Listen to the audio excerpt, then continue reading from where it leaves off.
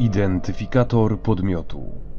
SCP-069 Klasa podmiotu Bezpieczne Specjalne czynności przechowawcze. SCP-069 wciela się aktualnie w agenta Fundacji i znajduje się w przechowalni dla humanoidów w ośrodku 063. Jako, że SCP-069 znajduje się aktualnie pod opieką wachty przeciwsamobójczej, wszelkie jego wnioski muszą zostać zatwierdzone przez co najmniej dwóch pracowników z upoważnieniem poziomu trzeciego.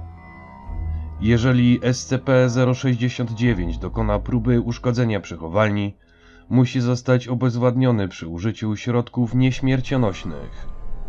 Jeżeli dojdzie do śmierci SCP-069, zakonspirowani agenci zostaną poinstruowani o konieczności monitorowania raportów o incydentach, w których ludzie zdołali uciec pewnej śmierci.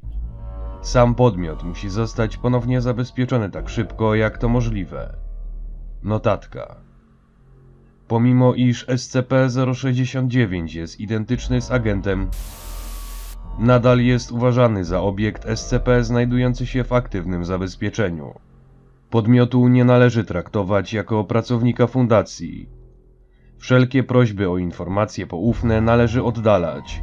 Wzbronione są wizyty byłych współpracowników agenta, w którego podmiot się wciela.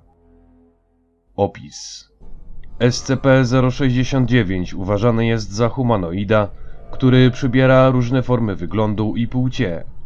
Poprzez nieznaną zdolność, kiedykolwiek obiekt zostaje pozostawiony sam sobie z ciałem martwego człowieka, Denat znika, a SCP-069 przybiera jego wygląd, nawyki oraz wiedzę.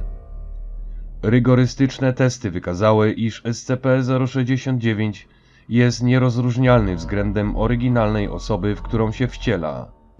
Podmiot posiada identyczne odciski palców, DNA oraz niemalże perfekcyjnie dopasowane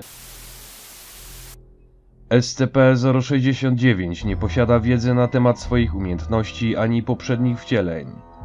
Podmiot zwyczajnie reaguje na zranienia i ból, jeżeli jednak zostanie zabity, gwałtownie obróci się w pył, bez względu na poczynione zabezpieczenia. Obiekt pojawi się następnie w miejscu najnowszego zgonu człowieka. Nie określono maksymalnego zasięgu tej właściwości. Do tej pory rekordem okazało się 675 km. Manifestacja danego wcielenia SCP-069 może trwać nieskończenie. Jednakże byt dozna przytłaczającej potrzeby do ułożenia życia, w tym, ale nie tylko, poczynienie działań w zakresie obowiązków finansowych lub prywatnych, odwiedzenia rozszerzonej rodziny, aktualizacji testamentu i innych dokumentów formalnych.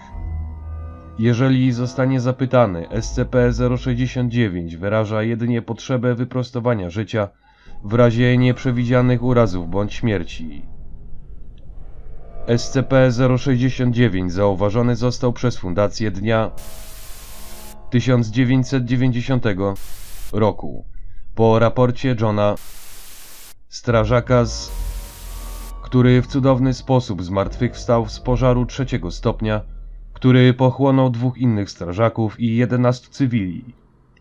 Zakonspirowani agenci przyłączeni do lokalnych władz zostali poinformowani o możliwym obiekcie SCP, kiedy raporty dotyczące wyposażenia strażaka wykazały, iż uszkodzenia były tak rozległe, że jego nienaruszone przeżycie było niemalże niemożliwe. Około trzech tygodni później John został wezwany do innego rozległego pożaru. Wszedł on samotnie do zadymionego pokoju, po czym nigdy już nie został odnaleziony. Z pożaru uratowano jednego cywila. Ponownie była to osoba cudownie i bez szwanku wyprowadzona z otoczenia wysokiego stężenia dymu. SCP-069 został wtedy pozyskany przez fundację przez mobilną formację operacyjną XY3 Porywacze Ciał. Dodatek 06901 dnia 2000 roku agent strażnik przydzielony do SCP-069 został zabity podczas uszkodzenia przechowalni SCP, a następnie opisywany podmiot się w niego wcielił. Pomimo iż początkowo obiekt odmawiał uwierzenia w to, kim naprawdę jest, na ogół był bardzo skory do współpracy. Był to efekt uosobienia się obiektów pracownika fundacji z upoważnieniem średniego poziomu. Brana jest pod uwagę możliwość wykorzystania martwych pracowników do przyszłych wcieleń SCP-069. Dodatek 06902 Dnia 2000 roku SCP-069 usiłował dokonać samobójstwa po tym, kiedy początkujący naukowiec przez przypadek poinformował obiekt, iż rodzinie agenta przekazano informację, że mężczyzna nie żyje oraz opisał reakcję członków rodziny agenta. W związku ze znacznymi kosztami związanymi z ponownym zabezpieczaniem SCP-069 uruchomiono rygorystyczną wachtę przeciwsamobójczą. Plany użycia innych, martwych pracowników fundacji jako celów wcieleń SCP-069 zostały zawieszone.